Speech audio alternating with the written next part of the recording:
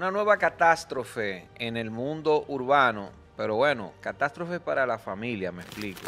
Y mucha vida para los que hacemos contenido por estos lados. Porque al final del día es contenido. Dylan Baby está preso. Yo no he oído nada de ese carajo. Bueno, sí, oí algo. La verdad. No, no, oí algo. Me, me, me, Dylan Baby, que Dylan Baby era una galleta que, yo, que le dio a que yo quién, que, y vi algo de su trabajo artístico. Eh, y nada. Tú sabes que Yo no sé si me alegro más de que lo metan preso porque agredió a alguien o porque ya no lo voy a escuchar, no sé. No, tú sabes que él, él, Dylan Baby, supuestamente había agredido a la, a la abuela. Eh, salió la foto, las fotos salieron por, la, por las redes sociales. Entonces, eh, al día de hoy, como Dylan fue sometido ante la justicia por el tema del Ministerio Público y ya el tribunal le cantó tres meses de coerción, Sí. se apersonaron allá eh, la mamá de Dylan y la abuela, diciendo que eso no es verdad, que él no había agredido a la señora así, inclusive la doña lo que dice es, yo, a mí no me gusta salirme de las redes, a mí no me saquen por las redes, miren la foto, a ver si soy yo. Y yo me puse a buscar la fotografía de la señora que aparece supuestamente que es la abuela golpeada por Dylan Baby, y en efecto esa no es la doña, no es la señora, la de la foto por lo menos. Pero lo que sí es cierto es que la mamá de Dylan había puesto, interpuesto, una orden de alejamiento. Entonces, si la mamá le puso una orden de alejamiento, porque había un, un precedente de violencia quizá, del hijo hacia la mamá, no necesariamente hacia la doña. Y lo que ha trascendido en las redes fue que supuestamente le dio golpe a la, abuela. Pero la abuela sale a defenderlo y la mamá también, pese a que le puso la, orden de alejamiento. ¿Qué pasa? Tenemos que ver los detalles de la razón por la cual le dieron la medida de coerción de los tres meses, la, prisión preventiva. ¿Por qué? Porque yo no puedo, yo me resisto a creer que el Ministerio Público eh, vino y tomó acción, no lo creo.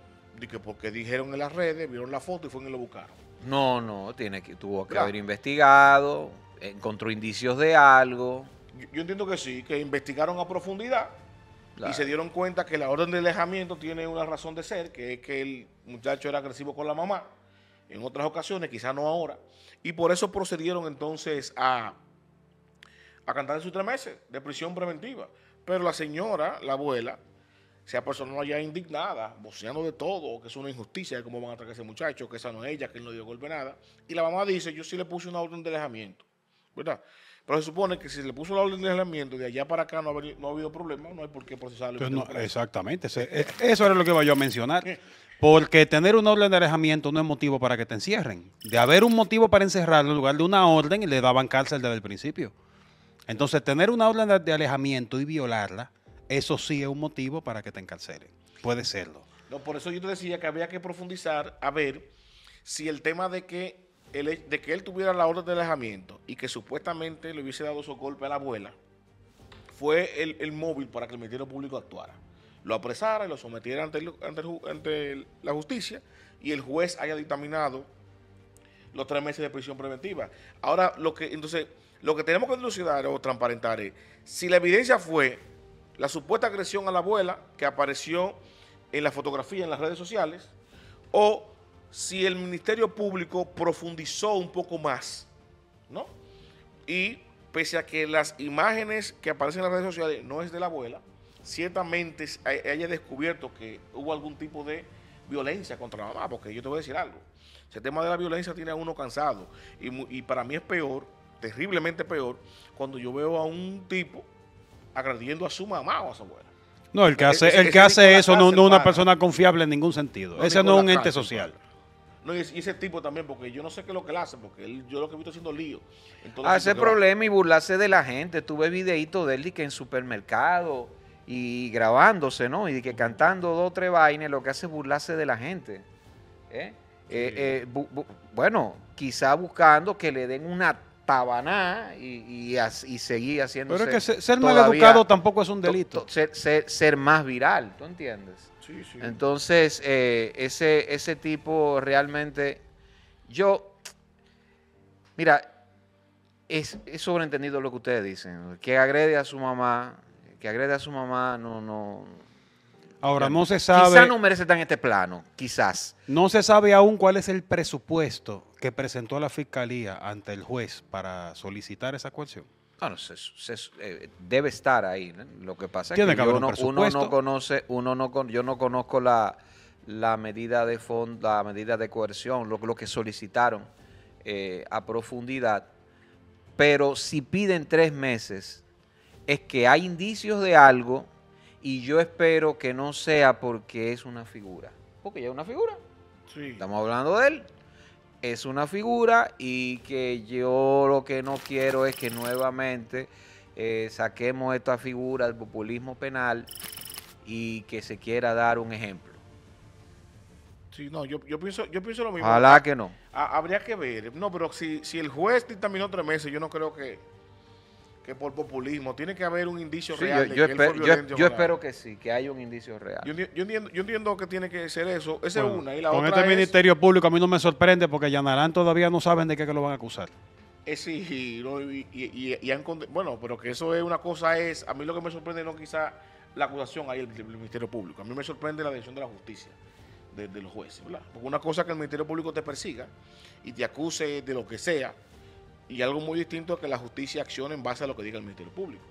Porque el Ministerio Público está para acusar, ahora quien está para dirimir justicia, para administrar Para justicia, impar- propiamente- impartirla. Sí, para propiamente impartirla. dicho, es el, el- el- el poder eh, judicial a través de los jueces, no del Ministerio Público.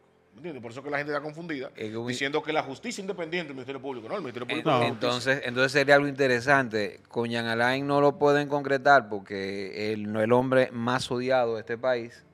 ¿Tú Pero crees? con Dillon sí. Vamos a bajarle la pesa a Dillon. ¿Qui- ¿Quieren saber menos de Jean Alain que de Ramón Hernández? Está, está fuerte, está fuerte. No, pero Dillon. No, Dillon- yo quiero a Relámpago, cuidado. Sí, pero ahora, ahora. cuando No, no, ya la veneno, nostalgia, la- yo- No, si mire, tú yo supieras que a volteaba mí- la televisión para que estuviera ya veneno arriba. Concho, a mí, a mí me gustaba Relámpago. Y sobre todo cuando hablaba inglés en la, en la tertulia. Yo no quiero saber, si me lo encontraba en la calle. En lo- la tertulia no, en la entrevista de las cuadras. Le, daba- le entraba a pedras y me lo hallaba en la, en la calle. Entonces, este muchacho Dillon, eh, Dillon, ¿qué? ¿Cómo era? Dillon Baby. Dillon Baby, que yo no sé, dicen que él es artista urbano. Yo lo que lo he visto con una gorra siempre Gucci por ahí andando. Y los videitos que he visto de él es haciendo como lío en los comercios. El graba. Sí, armando haciendo lío, lo que es exacto, eso, payaseando, eh, armando problemas, fue a- a- el parqueo, creo que se enfrentó ahí a un, creo que a un seguridad, si mal no recuerdo, de, de- de un Adrian Tropical. Sí, Muy arriesgado él, Sí, porque mira que eso de estarse enfrentando con seguridad Con es peligroso. Seguridad creo que fue, me parece Sí, seguridad. Que yo pensé que en una de esas, bueno, yo digo, por- como él va, vamos bien. Que a, lo, a lo mejor un seguridad de eso nos lo quita de- del medio y salimos de él, ¿verdad? Pero ahora, pero ha seguido en eso. Sí, pero el problema es que el pobre, popular. el pobre infeliz seguridad va a terminar cogiendo cárcel. ¿Quién dijo? Sí, al final sí. Hombre, no. El, el seguridad tiene luz verde con la escopeta. Si está justificado, si entra el negocio, que lo explote. Que lo, y más, óyeme, y lo importante para mí es la justicia ahora por lo menos está funcionando. Y si hay un indicio de, de, de agresión física, ¿no? De violencia, está bien procesado y está bien investigado. Porque eh, esto, inclusive esto para mí, aunque tiene cierta distancia, yo lo comparo con lo, con lo de Mayor y con lo de Amelia Alcántara y con los otros casos de, de violencia. El gran problema que hemos tenido aquí en República Dominicana es que la justicia, o sea, el Estado funciona después que se comete. No, pero es que la justicia tiene que funcionar después. No, no. No. No, sí, no las políticas públicas son las únicas que pueden prever, pero la justicia tiene que funcionar después. No, no. oye, No se te puede procesar por lo que no has hecho. Bien, pero yo, yo- por eso yo dije a ti, dije aquí el Estado. Tú fuiste que dijiste justicia. Entonces son... ah, bueno. Yo dije, el Estado no ha podido funcionar de manera correcta para evitar eso. ¿Por qué? Porque la justicia funciona después. Y el Ministerio Público tiene una unidad especializada de violencia, específicamente de violencia intrafamiliar y de género, que se supone que automáticamente hay un indicio de violencia, porque siempre los, los desenlaces fa- fatales vienen precedidos de mucha violencia, Sí, de una escalada. ¿Verdad? Entonces, cuando ya hay indicio de violencia, que la mujer, la mamá, la persona violentada hace una denuncia, aquí lo único que está haciendo el Ministerio Público es poner una orden de alejamiento, que simplemente es un papel, que eso no protege en nada a la víctima, y lo archiva, y de allá para acá, después cuando el victimario termina matando a, la persona agredida, entonces ahí aparece la justicia para si él queda vivo y irlo a meter preso. Porque lo que están haciendo ahora es que la matan y se matan. Entonces, se supone, hay casas de acogida, hay una unidad especializada para la violencia intrafamiliar, hay un protocolo que se debe seguir, automáticamente se denuncia violencia. Si una mujer denuncia violencia de su pareja, una mujer de su hijo, como es el caso ahora, ¿cuál es el protocolo a seguir? Hay una unidad. La unidad tiene que hacer, poner la orden de, alejamiento, investigar al susodicho, cuáles son los actos de violencia que han hecho. Si ella está en riesgo de su vida, tiene que ponerlo en una casa de acogida. No esperar que el tipo la mate, no es esperar que el tipo la agreda. Mira dónde Chantal, que el tipo la mató. El tipo la había, la había violentado otras veces, la había tiroteado otras veces y, la, y ella había puesto la querella. ¿Cuál fue el desenlace? El tipo finalmente la mató. ¿Por qué? Porque el Ministerio Público llegó a un acuerdo con ese tipo que le había entrado a tiro. Irracional. Eso. Una locura. ¿Tú me entiendes? Irracional. No, aquí estamos en las mismas. No, y en ese caso. Tres meses, bien. Un, gran, un gran, hay un gran peso, eh, una gran responsabilidad porque falla, ¿no? Falla, falla el Estado, sobre todo el brazo estatal que, que riñe mucho con lo judicial, que es el Ministerio Público, que el Ministerio Público no es independiente. ¿eh? Ni tiene por qué serlo tampoco. Forma parte del gobierno, de, la, de, verdad, forma parte del Estado. Eh, ellos no, al no funcionar, entonces el padre de Chantal Jiménez se pone a hacer acuerdo y se pone a decir, no, no, no, vamos a dejar eso así, que ese muchacho no va, ya viendo un precedente grave eh, de violencia hacia ella. Entonces es, un, es un tema en el cual, Concho, nos es transversal a todos nosotros porque hay como que una responsabilidad, ¿no? Eh, eh, de parte y parte. Pero nada, ahí está Dylan Baby.